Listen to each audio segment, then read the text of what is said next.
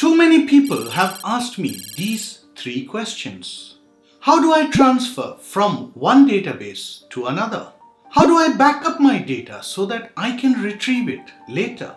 And how do I archive data that I no longer need on a daily basis?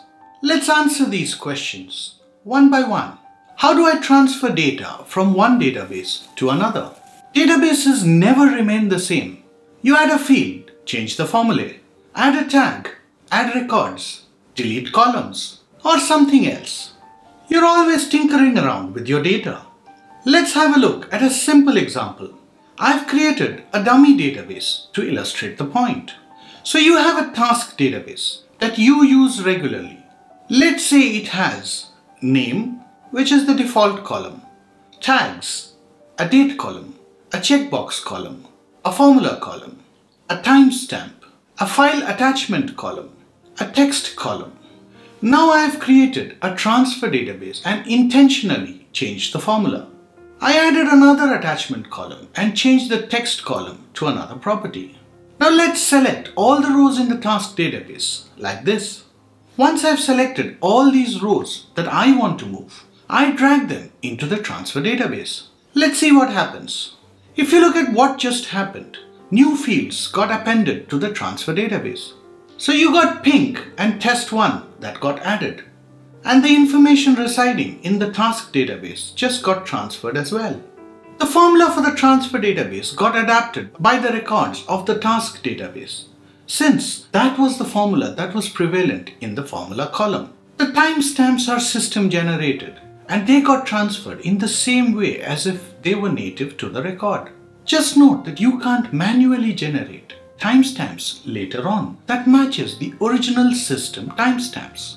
As a good practice, you should keep the field names the same for the data that you want to transfer. That way, it really becomes very easy. How do I back up my data so that I can retrieve it later? At least once in your lifetime, you run the risk of your data vanishing, and that should increase with time. If you've been affected by it, you will want to know this one. Let's look at what Notion already has. If you click on the three dots on the upper right side of the Notion page, you will see something called Page History. Click on it and you will see this pop up with a button Restore this version. You can now choose the version you would like to go back to and have that restored on the page. As you can see, Notion has some form of backup to keep data in their cloud server. For those who are a little more paranoid, I would suggest to keep another workspace called backup. Let's assume you want to create a backup of this transfer database in the backup workspace. To do this, you duplicate the transfer database. Then you move it to the side column so that it's clean, since you may have multiple databases on the same page. And you may want to transfer only a specific database. Then you move the database like this. This is created as a separate page, but then you can move it to the right page by just dragging it. So that's the second way of doing it. Let's say you want to keep an offline database from here.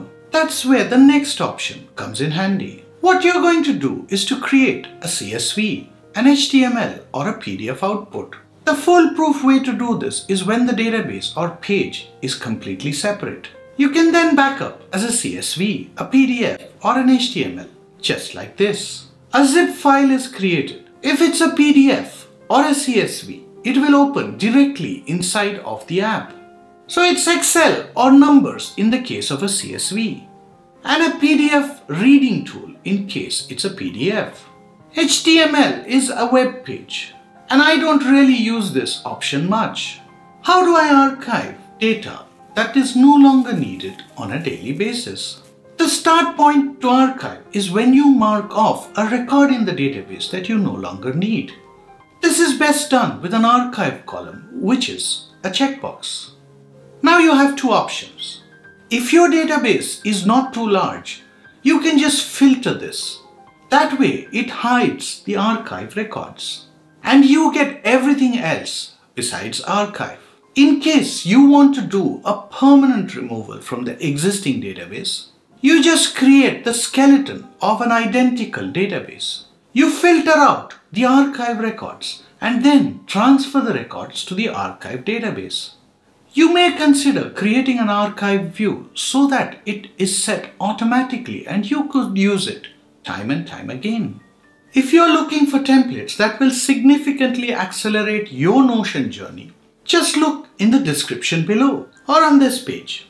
If you're not yet part of this community, do consider subscribing and don't forget to hit the bell icon to stay notified of new videos. If you like the video, consider sharing it with your friends. Stay safe, stay healthy, peace.